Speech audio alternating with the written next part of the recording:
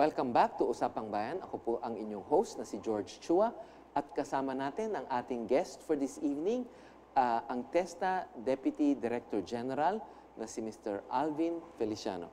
Alvin, yung, alam nyo, pinag-uusapan natin yung mga programa ng Duterte administration. Aside from the Build, Deal, Build, alam nyo po, alam po natin ng ang gusto ng ating gobyerno na ma, ma, ma- mawala yung ating drug problem, no? So, alam mo rin natin na maraming nag-surrender na magbagong buhay ah, at nag, na-undergo rehabilitation ho sila.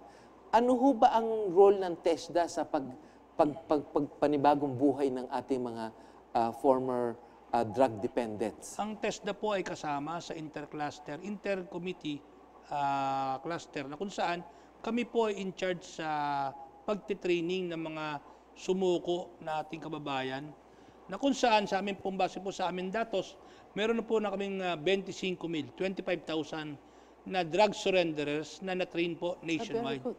Ah, kami po, ang TESDA po ay bukod po sa mga rehabilitation centers, pribado man yan o pampubliko, kami po ay pumapasok doon.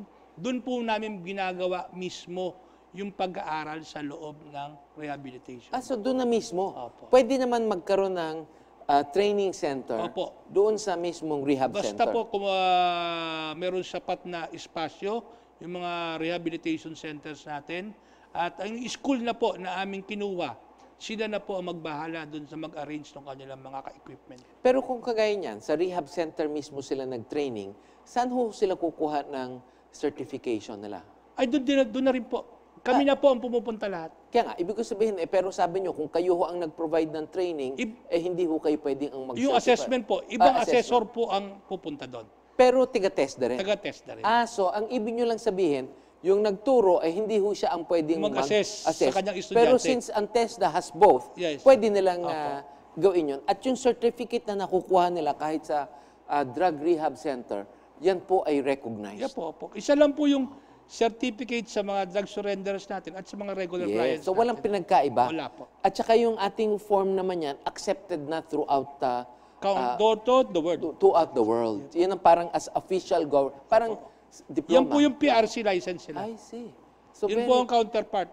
NC ng TESDA, PRC Sagom. I see, parang Siemens book nila Opo, yan na opo. yan ho ang inyong lisensya na kayo ho ay nakapag-training at ah, ang ah, kaalaman nyo ay sapat para magampanan ang inyong pinag-aralan. Opo. So, ano ano ho pa ba ang pwede nyo ho bang i-discuss sa atin?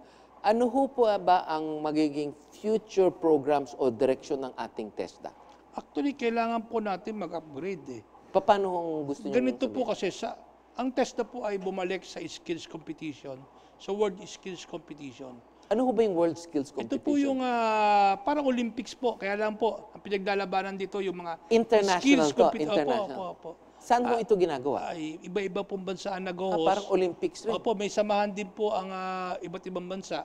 At katunayan po, nung ah, nakaraang taon, ah, nakakuha po tayo ng, sa World Skills ah, Competition na ginawa sa Abu Dhabi, nakakuha po tayo ng dalawang Medallion of Excellence. Despite ng 15 years absent ng Pilipinas doon sa competition na yon, kababalik lang po namin because yung aming secretary nakita yung kahalagahan ng competition. Dahil dito po natin nakikita ano na ba yung mga ginagamit, kagamitan, technology na ginagawa Para makaing- sa ibang bansa. Makahabol tayo. Opo, na yung aming po mga test package, binibigay naman po namin sa aming gumagawa ng mga curriculum para naman po ma-upgrade Saan ho tayong field nanalo o yung subject na? IT po, sa IT. Ah, sa IT. Opo, dalawa po yung ating bata. Dalawa lang po yung ating sinali, pareho pa po nakakuha ng medalya. Pero no? IT lang ang sinalihan natin. Opo, opo. Ano Dalawa pa lang. ho ba yung ibang... Ah, marami po. Merong 55 areas po yan. Ah, So, kasama na rin yung plumbing, carpentry, carpentry. plumbing, tile setting, So, sa susunod, lalawakin natin yung ating... ah, ano, binipili po namin. Ngayon pong darating na World Skills Competition sa sa Russia, ang target po namin ipadala ay siyam hanggang 10. Ba? So, mas marami ng Mas field marami ang na po. papasukan natin. Kasi po 15 years po tayong absent, nangangapa po kami. So, this year lang ho tayo nagsumali? O last, Last year po. Last year. Opo. This year po, kailan ho ba uli yan? Sa Russia po next year. Ah, next year. Ah, so every other year lang ba yan? I see. So, Ito po yung word skill. Pero yung. ASE- yung ASEAN, katatapos lang po ng ASEAN, nakakuha po tayo ng ah, 10 medalya po. Oh, b- very good, very good. tayo Ayan ho ang magandang medalyang makuha dahil kasi ibig sabihin niyan, tayo ho ay sapat ang ating paghahanda Opo. para sa ganun ay maging globally competitive Opo. naman ang ating mga kababayan. So, aside from participating in these mga skills uh, uh, contest, no, ano pa ho ba ang gusto niyong gawin sa TESTA? Ang Tibet po, ang TESDA po ay nakapokus sa gl- Tibet for global competitiveness tsaka sa local employment. So, nakapokus po kami sa pag-develop ng dalawa. So, kailangan pa nagpunta po ang ating mga kababayan abroad, tinuturuan namin sila ng skills training. Naglunsad po o pinalakas po ni Secretary Jin Mamunjong, pinalakas po ng TESDA yung aming pong language school. Kasi po kawawa naman po ang ating kababayan. Usually nabibiktima ng pagmamaltrato, pang-aabuso. So ang gusto po namin sa TESDA, turuan namin po sila ng lengguwahe, equip sila ng lengguwahe, at the same time, tinuturo na rin po namin yung kultura na So, pupuntahan nila sa mga bayan o Para bansa pupuntahan makapagsalita nila. naman sila, Opo. makapag-communicate naman sila. Tsaka alam po nila yung kultura para hindi po sila maabuso o hindi sila manibago. Oh, pa, sa bagay, maganda naman po yan dahil kasi alam nila na kung ano yung dapat at ano yung hindi gawin. Hindi ho ba, kagaya sa ibang bansa, bawal ho yung uminom ng mga Opo, opo. alcoholic drinks. So mabuti rin yun para hindi naman ho sila mapahamak. Tapos yung mga ibang customs na kung kinakailangan ay nakabalot yung, yung ulo, di ba? May mga ganyan po. So, ah, kumusta naman ho ang funding program nyo para sa inyong mga iba-ibang ah, adhikain? Ah, so far so good. Ngayon Nabibigay po, naman ho sa inyo? Nabibigay naman po ng Duterte administration dahil priority nga po nitong administration na ito ang edukasyon eh. So talagang nag-focus sila. Yung aming pong pondo nag times 2 Ay, dunoble. Wow. dahil po dun sa Waktaya o Pre-Tibet Education Yung TVET stands for Technical... Technical Vocational Education. I see. Pre-skills training. Pre-skill. Di ba dati po 300,000 lang yung aming scholar.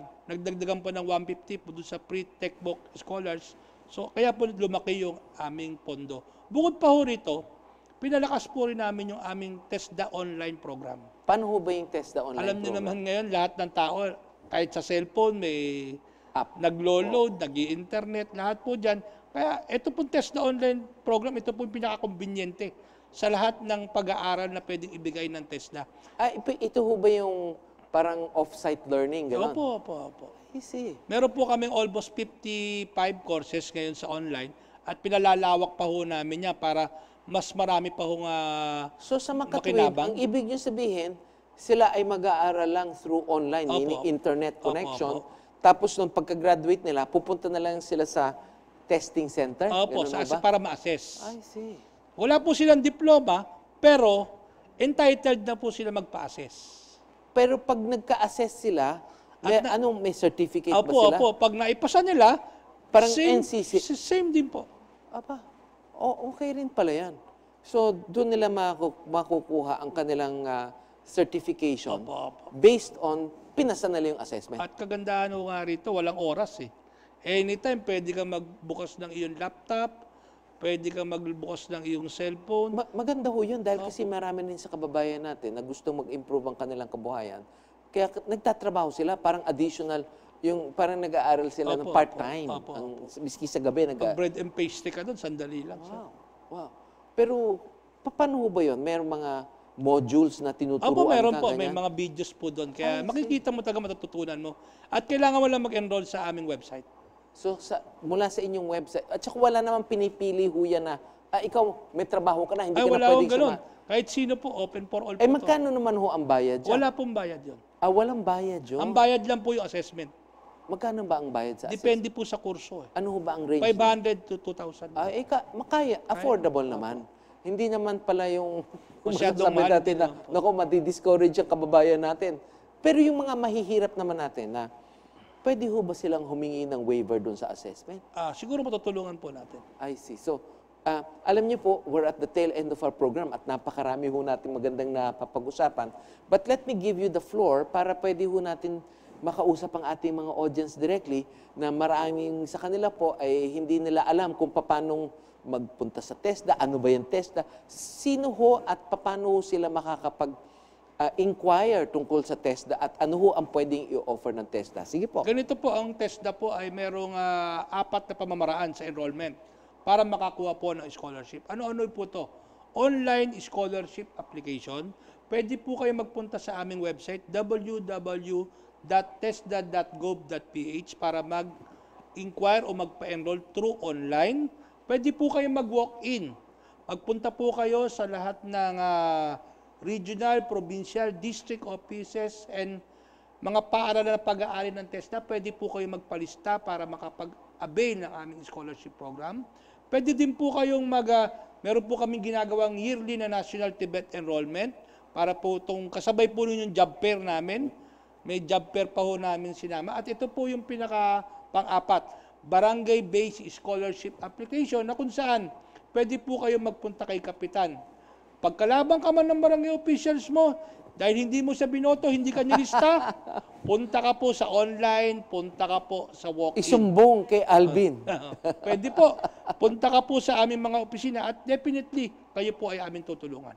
So, ang ah, masasabi niyo po ay you encourage everybody. Opo. Kahit may trabaho ka ngayon o wala, ay mabuti na yung may additional skills ka.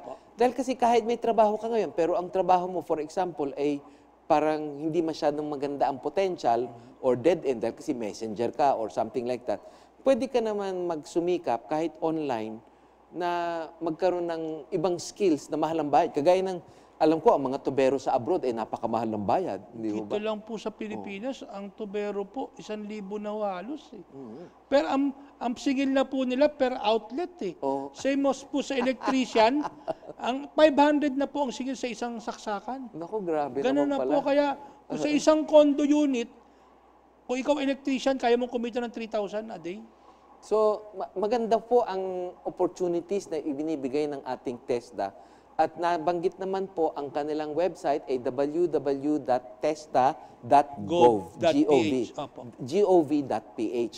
So, punta lang po kayo doon at ah, pwede na ho kayong mag-inquire ah, kahit mag, pwede silang mag-leave ng message kung ano ho ang mga tanong nila. At meron din po kami Facebook page. Ito po yung pinakamalawak na Facebook page sa lahat ng ahensya ng gobyerno. Ilan ho ba ang Meron na likes po nyo dyan? kaming 1.9 followers. Ba, okay. Million, ha? 1.9 million Wow. followers. Ano ho ang pangalan sa Facebook nyo? Tesda lang. Test na lang po. Oh, ayun pala, pinakamadali. Pwede Dahil po kasi, kayong magtanong, mag-inquire, lahat po. Pwede doon. Alam niyo po, marami doon sa mga ating mga telcos, nililibre yung Facebook eh. So, pwede niyo hong ah, ah, puntahan yun. At ang tansya ko po, baka umabot po kami ng 2 milyon ngayong po December. Ay, siguro naman. Dahil sa amin po enrollees, yearly. Ay, sana makatagdag rin tong ating programa sa awareness Ah, nila. definitely po. Makakatulong po ito. Okay, so um, uh, we'd like to thank our guest for this uh, evening, si TESDA Deputy Director General um, Alvin Feliciano.